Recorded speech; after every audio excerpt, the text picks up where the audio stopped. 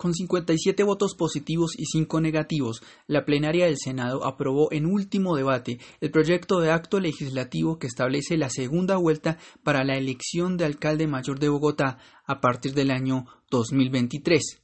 La regla de mayoría es distinta a la que rige la elección presidencial. Para el caso de Bogotá, si el ganador de la elección no obtiene más del 40% de los votos y más del 10% de ventaja sobre el segundo más votado, habrá segunda vuelta. Algunos sectores aseguran que la iniciativa se encuentra hecha a la medida para evitar la llegada de partidos alternativos al poder de la capital de la República. En la historia ya este proyecto de ley que tiene sus debates en comisión y, en, y ahora en plenaria, nosotros nos hemos opuesto. Nos hemos opuesto en primer lugar porque ¿por qué Bogotá y las demás ciudades no? En, un, en una eh, arquitectura constitucional, que de eso es que se trata ahora, estamos hablando de un acto legislativo, deberíamos tener algún sistema equilibrado en el sentido que las ciudades, por lo menos capitales, deberían tener más o menos el mismo régimen político. Bogotá tiene un capítulo especial en la Constitución que llaman del régimen especial, que trata de otorgarle más autonomía que las demás regiones. Esa es la verdad. Quienes hicieron en la constituyente la Constitución quisieron otorgarle a la capital del país un grado mayor de autonomía, funciones tanto de departamento como de municipio y una reforma un estatus eh, financiero, fiscal, etcétera, que es una ley de origen constitucional prácticamente y que en el gobierno de Gaviria se volvió un decreto, el Estatuto Orgánico de Bogotá. Pero desde el punto de vista de la democracia, del poder del voto, que es lo que trata este proyecto, ¿por qué razón Bogotá tiene que tener dos vueltas y las demás capitales de Colombia no? La razón no es técnica, la razón no es jurídica, la razón es política. Y estaba mirado respecto a las elecciones que vienen. Lo que pasa es que ya los tiempos parecen no acompañar la eh, suerte del proyecto, pero estaba buscando que la alcaldía no regresara a un proyecto progresista como proyecto progresista entendemos reequilibrarse con la naturaleza. Como proyecto progresista entendemos que los intereses prioritarios son los de la población más débil y vulnerable en la ciudad. Como proyecto progresista entendemos la justicia social y la sostenibilidad con el medio ambiente. En eso ha sido vanguardia la ciudad. Sus indicadores sociales, no hay que mirar sino el DANE, son absolutamente diferentes al resto de Colombia en tanto eficaces. Una pobreza multidimensional que ya raya con el 4.3% del total y va a la baja, incluso en este gobierno, el de Peñalosa. Una desigualdad social que va a la baja, por lo menos hasta el 2015. Unas tasas de violencia y de homicidio que ya están a punto 12 homicidios por cada 100 mil habitantes y baja de 10, la ciudad dejará de ser considerada violenta y todo eso es el fruto de la extensión de un aparato estatal distrital que ha puesto como prioridad la atención de los más débiles. Eso es lo que se quiere evitar, que no vuelva ese proyecto político a la ciudad y que se mantenga en lo que ha sido en estos últimos años, un espacio para hacer grandes negocios y negociados. Privatizar empresas públicas, desatender la naturaleza para extender la especulación inmobiliaria y mantener a la ciudad en sistemas de movilidad insostenibles basados en el diésel, la gasolina y otros. Nosotros no podemos acompañar entonces esa idea de mantener la capital de Colombia bajo la influencia de fuerzas en el gobierno de tipo anacrónico, retardatarias e incluso violentas. Y por eso me parece que todas las capitales deben tener segunda vuelta o ninguna. Si la segunda vuelta es para la presidencia y no se hizo para los municipios de Colombia, entonces no debe ser una reforma constitucional basada simplemente en un cálculo político de corto plazo, sino respetar la estructura misma de la Constitución y del Estado de Derecho, o hacemos dos vueltas en todas las capitales, lo cual pues, es perfectamente discutible y aprobable, o en ninguna. No hacer de eso una excepción para la ciudad de Bogotá. Y como nosotros no estamos de acuerdo en que se use la reforma constitucional simplemente para cálculos políticos de corto plazo, la constitución no es para eso. Eh, hacer unas precisiones en este proyecto con lo expresado por el senador Gustavo Petro. Quiero primero decirle, yo no soy autor de esta iniciativa, soy el ponente, lo fui en las dos vueltas. Esta iniciativa arrancó su trámite hace más de un año. Estamos culminando en este momento en este propósito. Hace un año cuando se presentó esta iniciativa no se habían definido todavía candidaturas de ningún partido a la alcaldía de Bogotá. Luego este proyecto no obedecía a ningún cálculo político como lo ha expresado, primero. Segundo, esta, este proyecto no tiene incorporado la segunda vuelta en otras capitales ni en los departamentos porque esa iniciativa venía discutiéndose en la reforma política, donde se buscaba también la segunda vuelta para las gobernaciones y para las capitales de departamento de más de 100 mil habitantes. Pero como se hundió la reforma política donde se estaba discutiendo, este es un proyecto aparte que presentaron dos representantes a la Cámara por Bogotá, uno de Cambio Radical, otro del Partido Liberal, y por eso continuó este trámite sin ninguna, como le digo, senador, sin ningún cálculo político. Tanto que la primera vuelta la culminamos en diciembre del año pasado y ya estábamos hablando de que, y así, y así fue aprobado en la primera vuelta, de que entrara a regir a partir del 2023. No es porque tengamos elecciones el 27 de octubre. Si se quisiera por esas elecciones, la plenaria o el Congreso podría decir que fuera con vigencia inmediata porque es un acto legislativo que entraría a regir de manera, como le digo, lo repito, de manera inmediata y las inscripciones de candidatos no han comenzado, comienzan el 27 de junio y ese no fue el propósito, senador, sino establecer una segunda vuelta en Bogotá para que haya mayor legitimidad de quien salga elegido como alcalde.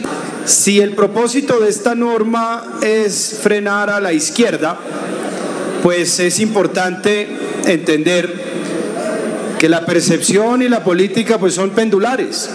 Hoy el péndulo está en la derecha, mañana puede estar más en la centro centro izquierda y puede ser que perfectamente mañana sea la derecha la que necesite eliminar el sistema de segunda vuelta porque la izquierda puede haber crecido tanto en Bogotá que va a contar con mayorías cercanas al 60% y se puede dar el lujo de dividirse en la primera vuelta para congregarse luego en la segunda. Es decir, puede que el día de mañana esta segunda vuelta sea la que haga imposible una victoria de la centro-centro derecha.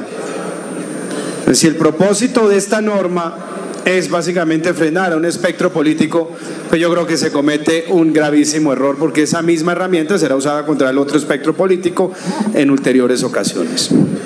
Y en tercer lugar, yo sí quiero hacer una reflexión respecto del significado de una segunda vuelta en un poder local. Hombre, el presidente de la República es símbolo de la unidad nacional. Por eso el presidente de la República necesita llegar él con una importante mayoría producto de una segunda vuelta, si no obtiene el 50% más uno en la primera. Los alcaldes no representan unidad nacional y el concepto de unidad nacional no se puede trasladar a nivel departamental y municipal. El alcalde en últimas es una autoridad administrativa y en donde existen los sistemas de segunda vuelta para la elección de alcaldes, generalmente son sistemas de segunda vuelta diseñados no para que el alcalde llegue con más legitimidad o con más fuerza, sino para que el alcalde llegue con mayorías en el Consejo Municipal. Para eso están diseñados los sistemas de segunda vuelta, por lo menos en Europa continental. son sistemas de segunda vuelta en donde el alcalde es elegido sobre la base de un sistema cuasi parlamentario, en donde el alcalde es la cabeza de lista, ese alcalde es elegido en segunda vuelta y llega con una mayoría del 50 más 1 en el Consejo. Y eso es perfectamente lógico porque se entiende que el Consejo pues no es un órgano en sí de control político. Yo no sé en dónde se nos ha metido la idea y dónde la Corte Constitucional en muy peregrinos fallos ha salido a decir que la función principal del Consejo es el control político. El Consejo de un departamento, de un municipio, perdón, como la Asamblea de un departamento, es una corporación pública y hace parte de la rama ejecutiva municipal como la Asamblea hace parte de la rama ejecutiva departamental. La legitimidad de la rama ejecutiva no es dividirse ni, ni, ponerse zancadillas entre sí, entre sus dos cabezas, que es el órgano ejecutor y el órgano de, de deliberación. Debería haber básicamente un alcalde con una mayoría en el Consejo porque la legitimidad del alcalde y de la rama ejecutiva reside en su eficacia. Hoy nosotros tenemos un sistema perverso, en donde el alcalde se elige por un lado y el consejo por otro. ¿Qué tipo de consejos se enfrentan los alcaldes? Un mosaico de microestructuras electorales a las cuales no las une nada distinto a su interés personal y termina convirtiéndose en una zancadilla permanente al ejercicio de gobierno de los alcaldes. Es decir, nuestros alcaldes son, o la rama ejecutiva departamental y municipal, son como dos hermanos siameses, alcalde y consejo, pero enemigos. Un alcalde siamés que le pone zancadilla al otro alcalde siamés. ¿Cuál es el resultado de esto? Que los alcaldes para gobernar entran en una permanente y constante transacción con esas microestructuras electorales de muy poca legitimidad política. ¿Qué puede significar 10 mil votos en una ciudad como Bogotá, que es lo que obtiene un concejal?